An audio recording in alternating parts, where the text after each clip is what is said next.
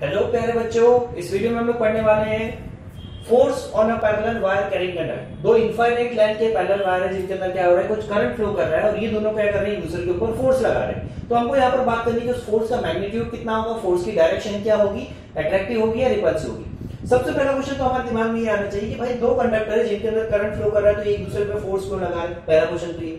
ठीक है, इसका आंसर मैं आपको देता हूँ। मान लीजिए यहाँ पे कंडक्टर है आई कंडक्टर ने आपका एक्स वन इसके अंदर करंट कितना फ्लो कर रहा है? आई ठीक है? तो अब देखिए जब इसके अंदर से करंट फ्लो कर, फ्लो करेगा तो हम चैप्टर कौन सा पढ़ रहे हैं? मैग्नेटिक इफ़ेक्ट ऑफ़ करंट इसका मतलब क्या है कि जब जब भी इसके अंदर से करंट फ्लो करेगा ये क्या करेगा? अपने आसपास एक मैग्नेटिक फ़ील्ड क्रिएट करेगा।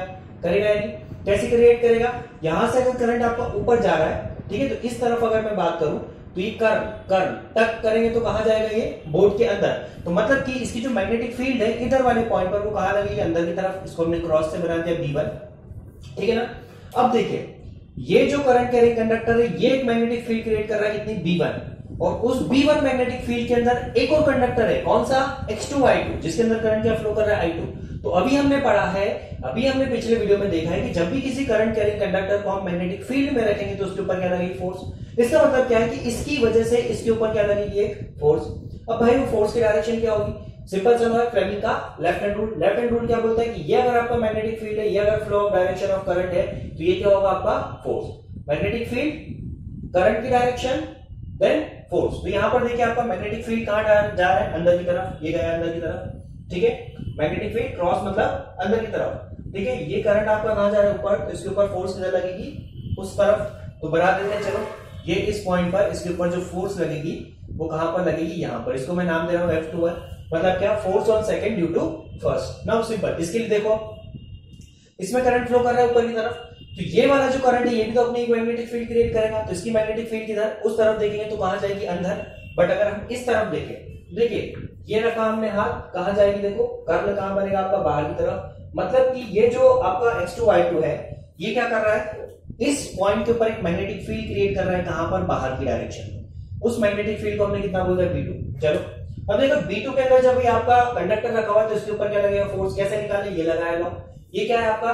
डायरेक्शन ऑफ़ मैग्नेटिक फ़ील्ड कहाँ है? बाहर की तरफ़। ये लगाई देखो मैंने बाहर की तरफ़। करंट कहाँ जा रहा है? आपका ऊपर की तरफ़। ये गया करंट आपको ऊपर की तरफ़। फोर्स कहाँ लगेगी? अंदर की तरफ़। इसका मतलब क्या है? कि जब भी दो कंडक्टर को हम लोगों ने पास में रखा है, उनके अंदर अगर करंट फ्लो कर रहा है सेम डायरेक्शन में। करंट क्या फ्लो कर रहा है? सेम डायरेक्शन में। तो उनके बीच जो फोर्स लगने वाला है, वो कैसा होने वाला है? अट्रैक्टिव अपोजिट डायरेक्शन में क्या होगा? रिपल्सिव उसके लिए आप डायग्राम बनाकर देखेगा ठीक है? अब हम बात कर रहे हैं इसका मैग्नीट्यूड की।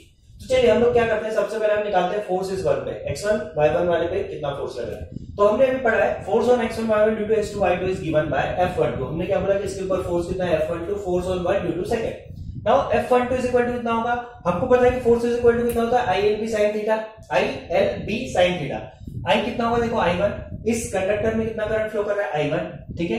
लेट्स से कि इसकी लेंथ कितनी है? एल इनफाइनाइट लेंथ का वायर है तो हमने क्या बोलते हैं कि इसकी लेंथ कितनी है? एल सिंपल दोनों की लेंथ कितनी है? एल है। फिर यहाँ पर देखिए मैंने क्या पुट करा? बी टू क्यों पुट करा बी टू सर फोर्स तो हम वन पे निकाले तो बी वन पुट करना चाहिए था, गलत।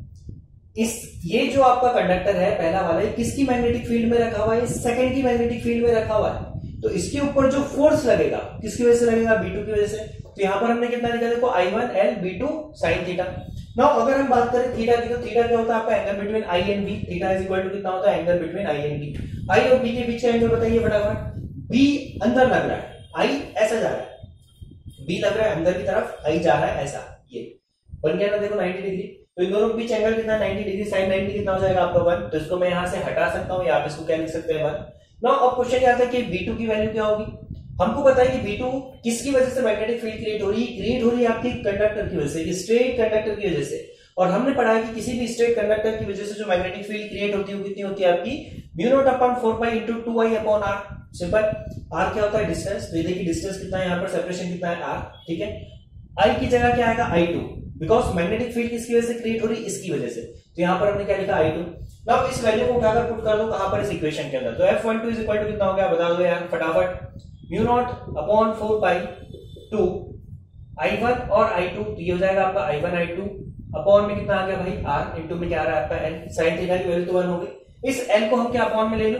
L को हम क्या ले ले? अपॉन में ले ले। तो ये हो गया आपका f12 अपॉन में N is equal to mu naught upon में 4 pi 2 i1 upon I two upon में कितना? r एल को अपॉन में क्यों लिया? क्योंकि इनफाइनेट लेंथ का वायर इनफाइनेट लेंथ का वायर तो क्या होगा? एल इनफाइनेट तो फोर्स भी कितना होगा? इनफाइनेट तो उससे बेटर तरीका क्या है कि हम यहाँ पर क्या निकाल फोर्स पर यूनिट लेंथ कि एक यूनिट लेंथ के ऊपर कितना फोर्स लग रहा है? तो वो हमने निकाला कि एक यूनिट लेंथ के ऊपर लगने वाला फोर्स कितना हो जाएगा? Mu naught upon four pi into two I one I two upon में आर ये तो बात हुई कि इसके ऊपर क्या फोर्स लग रहा है?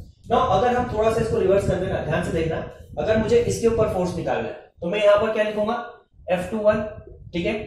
इस पर फोर्स लग रही तो करंट किसका आएगा? इसका करंट आएगा। किसकी फ़ील्ड में रखा है? फ़र्स्ट की फ़ील्ड में रखा है तो यहाँ पे आ जाएगा आपका बी वन साइन थीटा वही होगा 90 डिग्री एंगल बी वन की वैल्यू बता दो फटाफट कितनी होगी? Upon four pi two I one simple F two one जब आप लिखोगे तो एफ़ टू वन में देखो आप क्या लिखोगे? बी वन की value mu upon four pi two I ठीक है? इंटू में कितना था? आई टू तो ये लिखा आई टू अपॉन में कितना आ गया? आर इंटू में कितना आ गया आपका एल सिंपल है। एल को अपॉन में लिया सेम फॉर्मूला निकल कर आएगा। इसका मतलब क्या है कि एफ़ वन टू और एफ़ टू वन दोनों का मैग्नीट्यूड क्या आने वाला है? बराबर। पर यूनिट लेंथ की बात कर रहे हैं। फोर्स पर यूनिट लेंथ कितना निकल कर आने वाला है आपका? Pi two I one into upon में आर अब बात करते हैं कि अगर एक के अंदर डायरेक्शन डिफरेंट हो जाए आपकी, एक के अंदर डायरेक्शन क्या हो जाए? डिफरेंट तो उस केस में क्या होगा? देखिए, इसमें करंट ऐसा फ्लो कर रहा है। लेट्स से कि इसके अंदर जो करंट है ना, इसके अंदर जो करंट है, वो कहाँ चलेगा आपका? अपोजिट डायरेक्शन में। ठीक है अपोजिट डायरेक्शन में, ये ये ये चलेगा अब बताओ मेरे को फोर्स के लिए क्या है सीन होगा यहाँ पर, उसको अपन समझते हैं। देखना ध्यान से भी। ठीक है, सब हटा दिया हमने। अभी देखना है कि फोर्स अट्रैक्टिव होगी अभी भी या रिपल्सिव होगी। ठीक है, और एंड में हम एक खिलौना बनाएँगे जो देखेगा कि अट्रैक्टिव थी या रिपल्सिव थी उसको जांचने के लिए। तो चलिए, सबसे पहले मैं निकालता हूँ, इसकी वजह से मैग्नेटिक फ़ील्ड करंट ऐसा फ्लो कर रहा है राइट हैंड लिया है। देखिए, झंडे वाला हैंड मेरा राइट है। तो ये करंट आपका ऐसा फ्लो कर रहा है। फ़ील्ड कहाँ जाएगी? अंदर की तरफ़। तो यहाँ पर जो फ़ील्ड लगेगी, वो कहाँ लगेगी? अंदर की तरफ़ क्रॉस में वी ठीक है? यहाँ पर देखिए करंट ऐसा फ्लो कर रहा है फ़ील्ड अंदर की तरफ़. तो ये बनाए भाई फ़ील्ड अंदर की तरफ़. किसकी वजह से आ रही है? बी वन ठीक है? वन की वजह से. ना इसके ऊपर फोर्स निकालना तो लेफ़्ट हाथ बिना झंडे वाला हाथ ले लो. ये ठीक है? ये मैग्नेटिक फ़ील्ड कहा जा रही है? देखो, अंदर की तरफ़. करंट कहा जा रहा है? देखो भाई, ऊपर की तरफ़. तो मैग्नेटिक फ़ील्ड अंदर करंट कहा जा रहा है? ऊपर. तो फोर्स कहाँ लगेगी? आउटवर्ड डायरेक्शन में. चलिए, इसके ऊपर फोर्स आ गई आपकी एफ़ वन टू बाहर की तरफ़. ठीक है? इसके ऊपर बात कर लेते हैं चला। इसके ऊपर देखिए मैग्नेटिक फ़ील्ड ये जा रही है अंदर की तरफ़ करंट जा रहा है नीचे की तरफ़ तो फोर्स कहाँ आ गई? इस तरफ़ आ गई। ये लगाई देखो फोर्स एफ़ टू वन आप देख सकते हैं कि दोनों फोर्स क्या हो रही है, दूसरे के अपोजिट इसका मतलब क्या है? दोनों क्या आपकी रिपल्सिव नेचर की है। और पहले वाले केस में कैसा आ रहा था? अट्रैक्टिव अगर आप मैग्नीट्यूड की बात करूँ तो सेम मैग्नीट्यूड आपका यहाँ पर क्या होने वाला है? निकल कर आने वाला है। ठीक है? अब यहाँ पर अगर हम एक खिलौने की बात करें, जो हमको इसको डेमोन्स्ट्रेट करके बताया कि फोर्स आपकी अट्रैक्टिव है या रिपल्सिव है।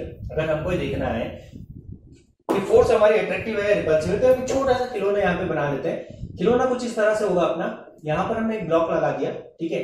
इससे हम एक स्प्रिंग को कनेक्ट कर देते हैं। एक स्प्रिंग को हमने कनेक्ट किया।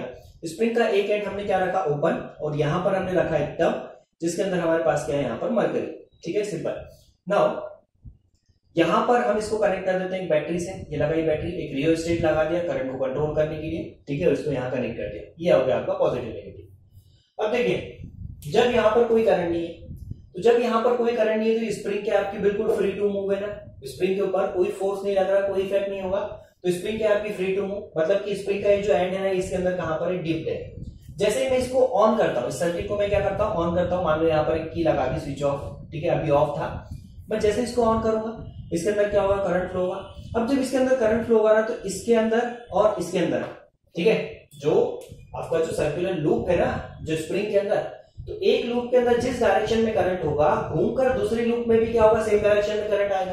तो जब इन दोनों में करंट की डायरेक्शन सेम होगी तो ये दोनों क्या करेंगे? एक दूसरे को अट्रैक्ट करेंगे ना करंट की डायरेक्शन सेम है तो ये दोनों क्या करेंगे? एक दूसरे को अट्रैक्ट अब ऐसे ही क्या होगा? जितनी भी यहाँ पर लूप से सभी में क्या होगा? अट्रैक्शन तो ये जो होगी, आपकी स्प्रिंग ये क्या होगी? कॉन्ट्रैक्ट और स्प्रिंग अगर कॉन्ट्रैक्ट होगी तो ये कहाँ जाएगी? ऊपर।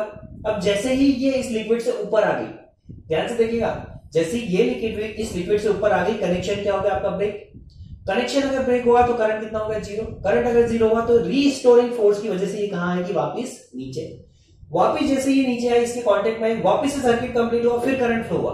तो फिर करंट फ्लो हुआ तो ये कहाँ जाएगी? ऊपर। तो ऐसे क्या चलता रहेगा ऊपर, नीचे ऊपर, नीचे क्या करती रहेगी? स्प्रिंग जो आपकी बाउंस करती रहेगी, ठीक है? तो ये हमको बताकर देगा कि हमको प्रूव करके देगा कि जब भी दो कंडक्टर के अंदर सेम डायरेक्शन में करंट फ्लो करेगा तो वही दूसरे को क्या करते हैं? यहाँ पर अट्रैक्ट करते हैं, ठीक है? तो आई होप आपको समझ में आया होगा, पूरा डेरिवेशन बड़ा ही सिंपल सा डेरिवेशन है। कंफ्यूज होने की रिक्वायरमेंट नहीं, सिर्फ़ इंपॉर्टेंट चीज़ इतनी सिर्फ़ याद रखना कि सेकंड के ऊपर अगर आप फोर्स लगा रहे तो मैग्नेटिक फ़ील्ड किसकी आएगी? फ़र्स्ट की आएगी। और फ़र्स्ट पे फोर्स निकाल रहे हैं तो मैग्नेटिक फ़ील्ड किसकी आएगी? सेकंड की आएगी। ठीक है, यहाँ पर बच्चे बहुत गलतियाँ करते हैं तो इसको अपने को नहीं करना ठीक है, यहाँ तक बने रहने के लिए बहुत बहुत शुक्रिया। जय हिंद, जय भारत।